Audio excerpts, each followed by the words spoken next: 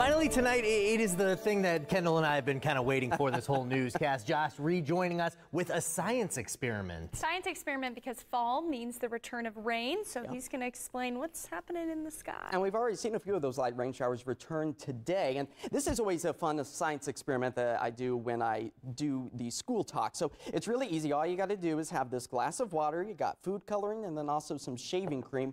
And this is a perfect way of kind of talking about the water cycle. And if you can see behind us throughout this little segment, uh, we got a QR code where you can download and save all of these instructions on kval.com. That way, if you want to do it maybe with a school or maybe if you need something to keep the kiddos occupied during the weekend as well. Awesome. So it, but all of us are going to kind of do this together. We're going to Okay. take our shaving cream, okay, and we're going to make a very top layer.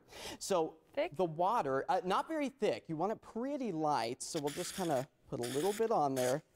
So this is going to act like our cloud coverage or the condensation. Maybe when you were in grade school, you learned about Too thick. Yours is, I think yeah. mine's too thick. uh, no, no, no. That, that's good. It will work because clouds have all different heights. So we got to remember we have the evaporation, condensation, which is going to be our clouds, and then this is going to be the precipitation. So what we're going to do is eventually through the atmosphere, we get enough water to build up in the clouds, the condensation. And if you kind of put some of those drops, this is going to act as our uh, condensation and as it builds up, eventually those clouds aren't going to be able to hold enough water. And A feel lot or free to, little? yeah, be, feel free to be uh, healthy with it. And Kendall, you're already starting to see some of that precipitation as it falls through the clouds. Kendall! You got some red rain. Yeah. there. Yeah. Oh Brandon's got some green yeah, rain it's coming, coming through. down. I see it. It's because mine weren't as thick.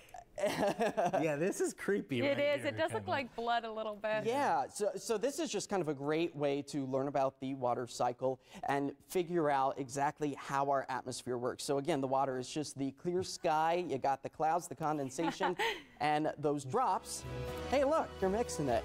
That's there right. kinda We're just gives us having a- fun over here. Some rain showers. So try it at home. Send your photos over to us. We want to see them. This That is was good for. Halloween. Thanks, Josh.